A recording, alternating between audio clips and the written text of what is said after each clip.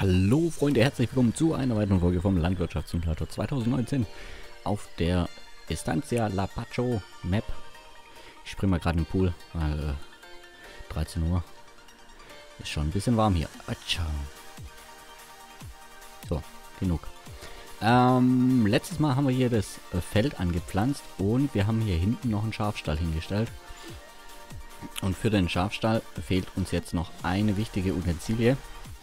Nämlich die Schafe. Wer hätte es gedacht. So. Daher werde ich mir hier den Joskin-Trailer mal kurz... Wie viel passen da rein? 10 Schafe, das ist in Ordnung. Mieten. Jawohl, okay. Zurück. Was kostet der in der Miete? 1200.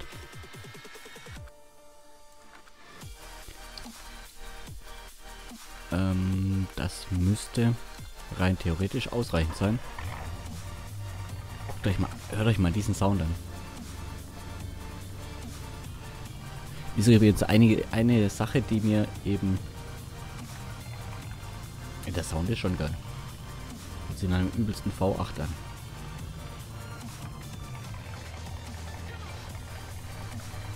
Okay.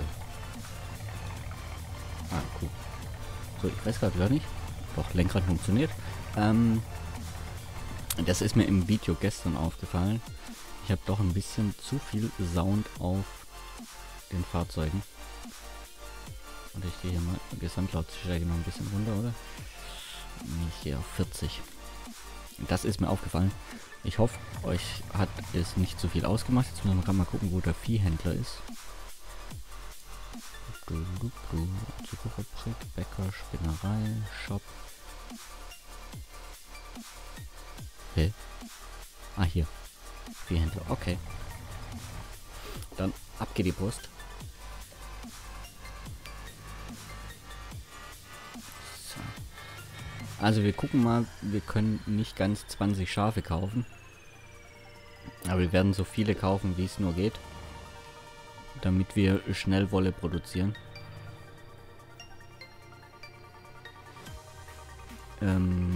Hühner haben wir, glaube ich, voll gekauft, gell? Ne, haben wir nur 30 Stück gekauft. Warum denn? Warum haben wir nur 30 Hühner gekauft? Macht ja gar keinen Sinn. Wir müssen Vollhühner kaufen. Die Autos rauschen aber gut vorbei. Wenn euch äh, dieses Projekt gefällt, äh, ich weiß, es ist noch nicht viel passiert, aber wenn doch, dann äh, haut's raus in die Welt. Twitter, äh, teilt es mit euren Freunden, was auch immer. So, ich glaube hier sind wir schon. Agro Gaucho. Äh, wo kriegt man jetzt hier die Tiere? Hier würde ich eigentlich sagen. Ey, dieser, dieser Sound ist Hammer. Dann hätte ich gerne auf ein paar Traktoren dieser Sound, diesen Sound. ähm, ich habe keine Ahnung, wo ich die Tiere jetzt kriege. Ich fahre mal hier links auf den Trecker. Hier ist nämlich einer. Vielleicht ist es der. Jawollo. Ähm, so, wir kaufen nur weiße Schafe.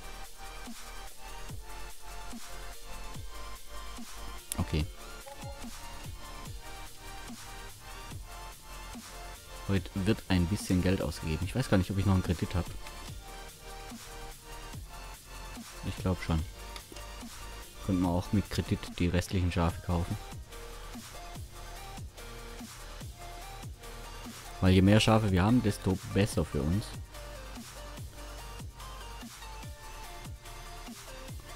So, jetzt fahren wir das erste Mal, glaube ich, so offiziell durch die Haupteinfahrt unserer Ranch. Da oben steht nämlich... Warte. Äh, warte, falsche Richtung. Ja, okay, Blinker können wir ausmachen. Da oben steht's. Distancia Lapacho. So, also Rinder.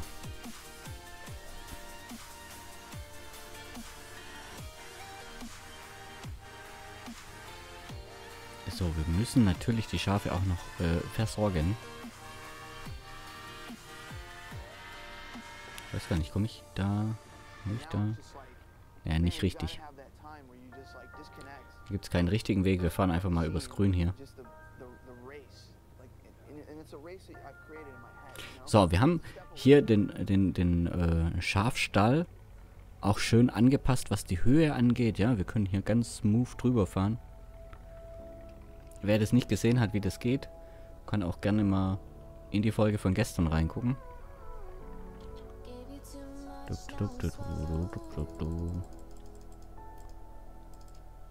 Bestätigen. So, die ersten Schafe sind da.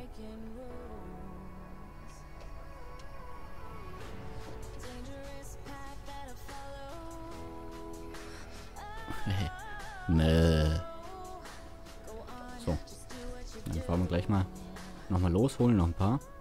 Wir gucken mal gerade nach dem Kredit.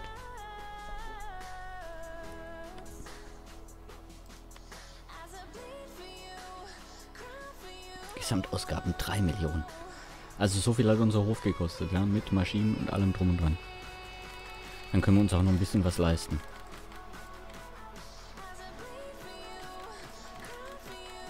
...150 ist in Ordnung.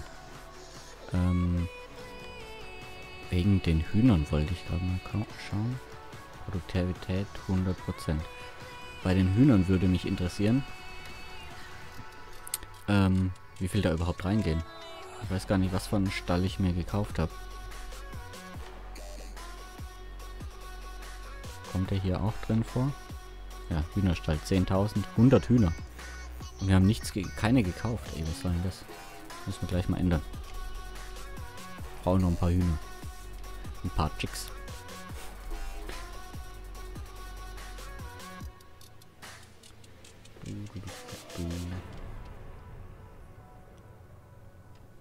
Chicks und ein paar Sheeps. Äh, Sheeps. Nicht Sheep, sondern Sheep.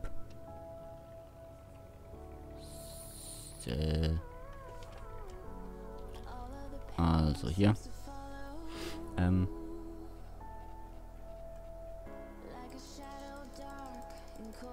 ...50 kostet 1, dann äh, 520. So. Waren nochmal 10 von denen.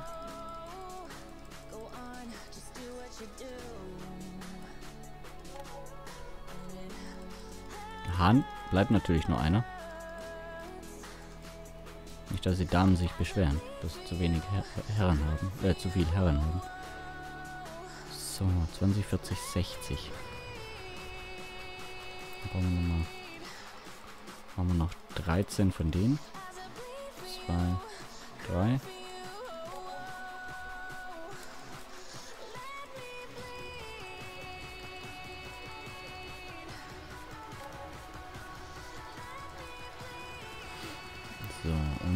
letzten. Und jetzt sollte eigentlich nichts mehr gehen. Genau. Kapazität erschöpft. Äh okay, zurück. So, jetzt haben wir genügend Hühner. Alles voll. 33 von jeder Art. Ein Horn, ein Hahn. Alles Paletti. Dann können wir loslegen. Also, ich äh, werde jetzt hier noch ein paar Schafe holen. Und dann sehen wir uns gleich beim Versorgen wieder. Bis gleich.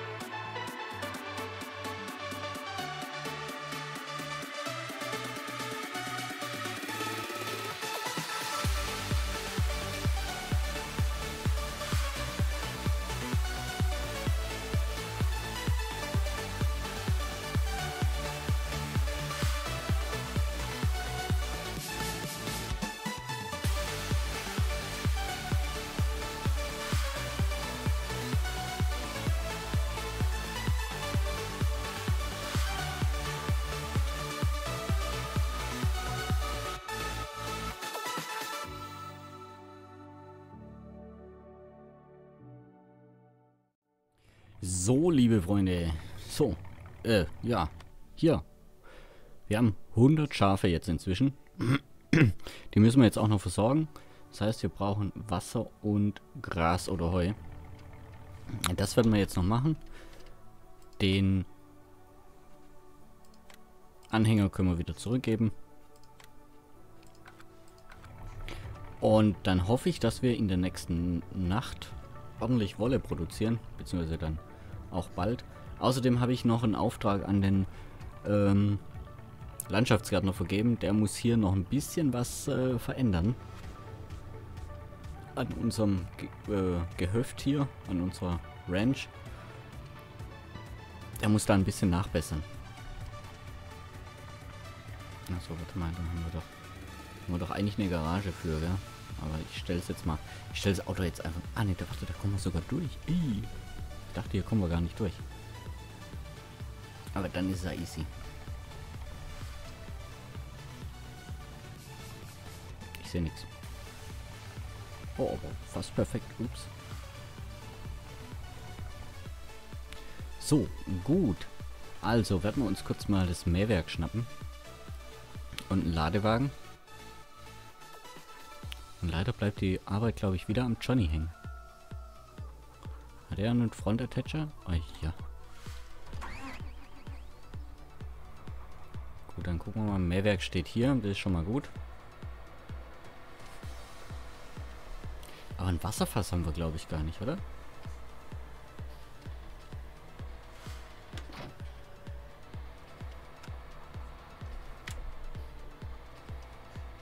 Wir hängen das gleich hinten, äh, hängen auch den Schwader noch dran.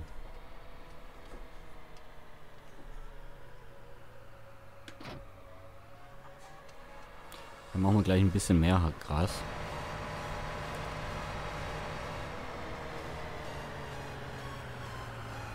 Wobei, so viel Platz, so viel Gras können wir hier gar nicht machen.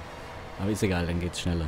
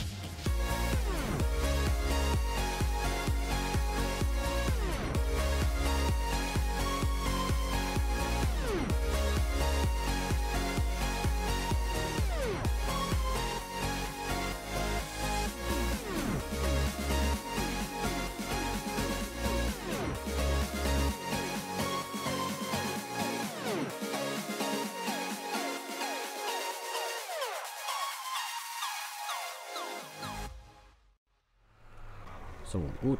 Jetzt möchte ich mal einfach, ja, der Interesse halber, mit ein bisschen einen anderen Traktor fahren. Ich hoffe mal, dass da der Ladewagen hinten dran passt. 270 PS hat der Case hier. Ich hoffe mal, der Fendt-Ladewagen braucht nicht so viel mehr PS.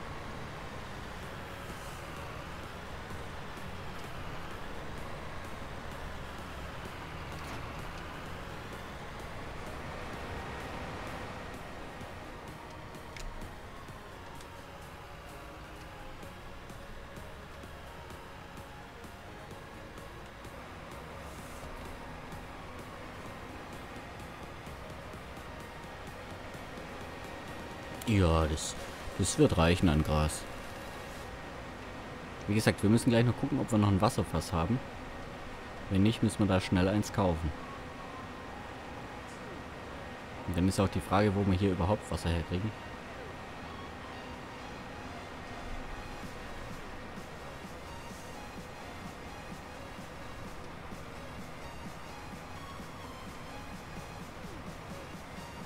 Gut ist, dass mit dem Case hier das äh, zumindest schon mal klappt.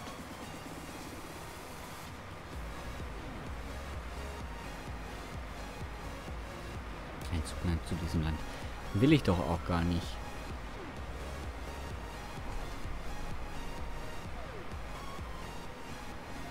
Muss ein bisschen gucken, dass ich auch alles aufsammle.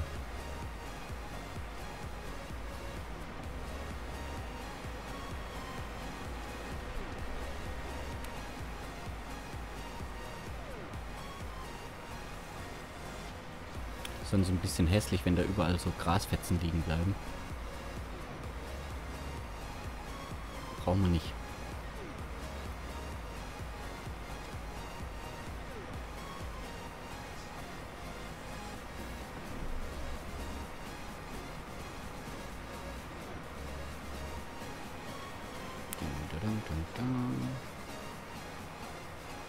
Oh, falsche Richtung. Das ist ein Problem, das passiert mir immer wieder, weil ich mit beiden Füßen fahre. Im normalen Auto würde das nicht passieren. Weil du dann mit einem Fuß natürlich vom einen Pedal runter gehst aufs andere. Aber hier fahre ich mit beiden Füßen. So, Rallye. Rallye-Style. Habt ihr mal gesehen, ähm, wie so Rallye-Fahrer fahren? Das ist krass. Müsst ihr mal schauen, von Walter Röll gibt es da ein Video. Ähm, wo er damals äh, den Pike, Pikes Peak, glaube ich, gefahren ist. Wie er schaltet, wie er fährt, wie er Gas gibt.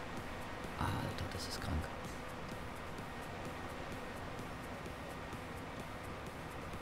So, gut.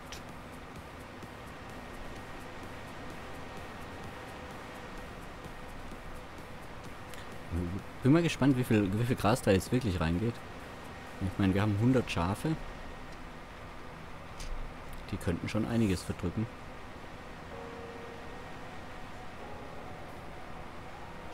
So, dann haben wir das bisschen da hinten noch. 30.000 von diesem kleinen Grasfleckchen hier. Von der kleinen Wiese runtergeholt ist es auch schon ordentlich.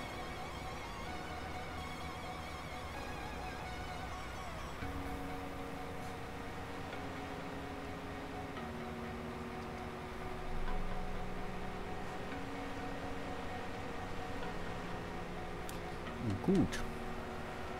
Dann gucken wir mal, wie viel bei den Schafen reingeht.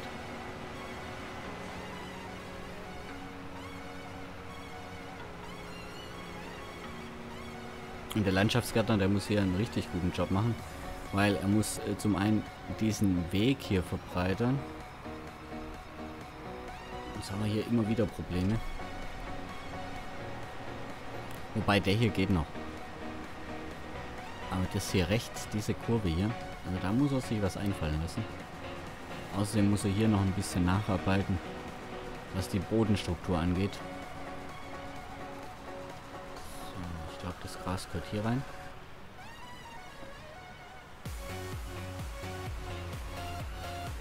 Ups.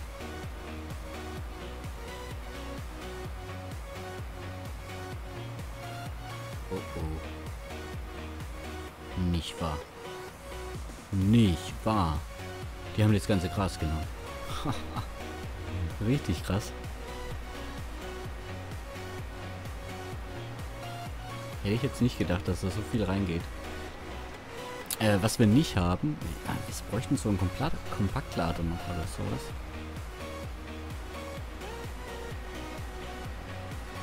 Weil wir haben ja auch noch gar nichts, äh, womit wir dann die Schafe wieder sauber machen können. Beziehungsweise die Wolle abtransportieren.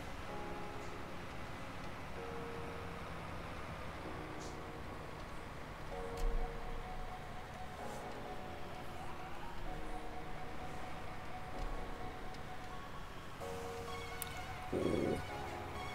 Hammerhart geparkt, ey. Gut, dann ähm, gucken wir mal gerade. Ist nicht mal voll, Alter. Da hätten 50.000 hätten locker reingepasst. Naja. Das nächste Mal dann. Äh, Wasser. Wir hätten hier 8.000 Liter oder 32.000 Liter. Kostet aber 70.000. So viel Geld haben wir nicht. Wir haben knapp 10.000, also nehmen wir den hier. Ah, das, ja. Hm. Was bleibt uns anderes übrig?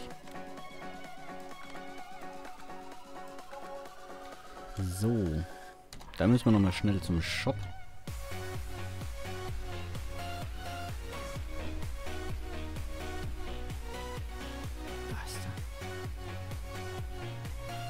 Ich habe noch keine Ahnung, wo ich hier überhaupt Wasser herkriege. Muss ich gleich mal gucken. Wenn nicht, werden wir uns einfach einen Brunnen bohren. Ich glaube, das ist sowieso am sinnvollsten.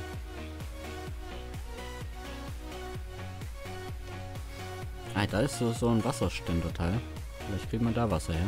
Hier. Schauen wir mal schnell. Weil die Schafe müssen wir heute schon noch versorgen. Sind die bis nächstes Mal verdurstet.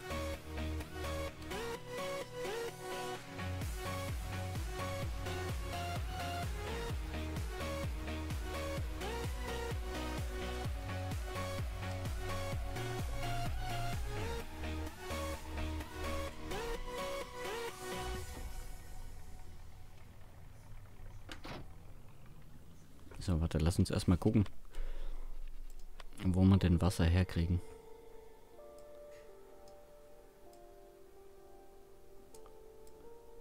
Da ist ein Fluss. Wir können es bei dem Fluss probieren.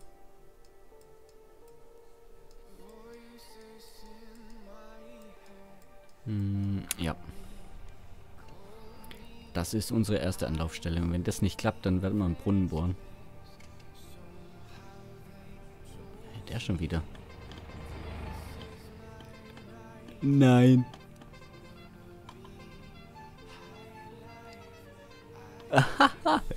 ist ja hammergeil. Alter. Ähm. Oh, oh. Da geht's aber ordentlich runter. Ah, hinten ist ein bisschen flacher. Ähm. Hammergeil. Sehr coole Erinnerung an diese Fanfare. Ähm, ich meine, ihr kennt ja auch das Cabrio-Video von, oder Cabrio-Videos von mir. Ähm, und da gibt es auch diese Fanfare. So, kann ich hier jetzt Wasser aufnehmen? Ja. Nice. Klar, wenn wir hier jetzt mit dem großen 32 Liter, äh, 1000 Liter Fass ankommen, dann sollten wir hier eventuell äh, einen großen Traktor benutzen. Sonst haben wir ein Problem. Aber mit dem kleinen Fässchen hier, da kriegt es auch unser Lizard Pickup hin. Äh, guck schon mal bitte nach vorn. Ab durchs Gestrüpp.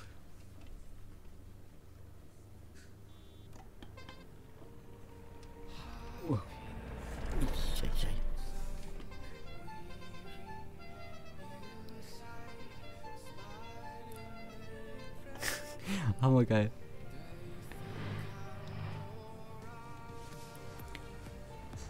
So, aber gut. Ähm, morgen kommt der Landschaftsgärtner.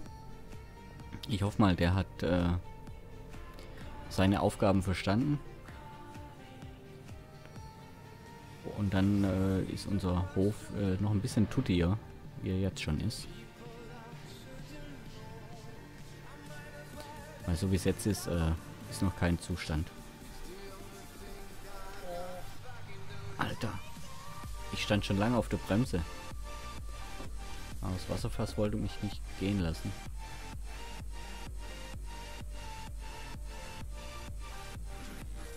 So, Delay. Ich hoffe auch heute passt der Ton ein bisschen besser. Ich werde gleich äh, kontrollieren.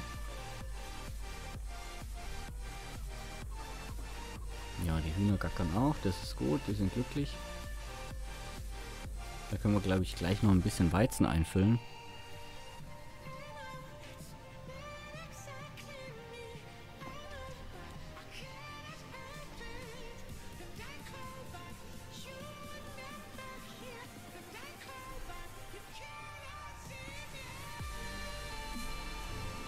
So, Standard-Skill, rückwärts fahren. Ah ne, komm, wir machen es so rum. Ein bisschen fauler.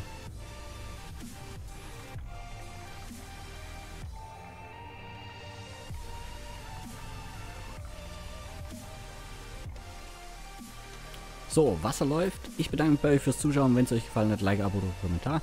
Und bis morgen. Tschüssi.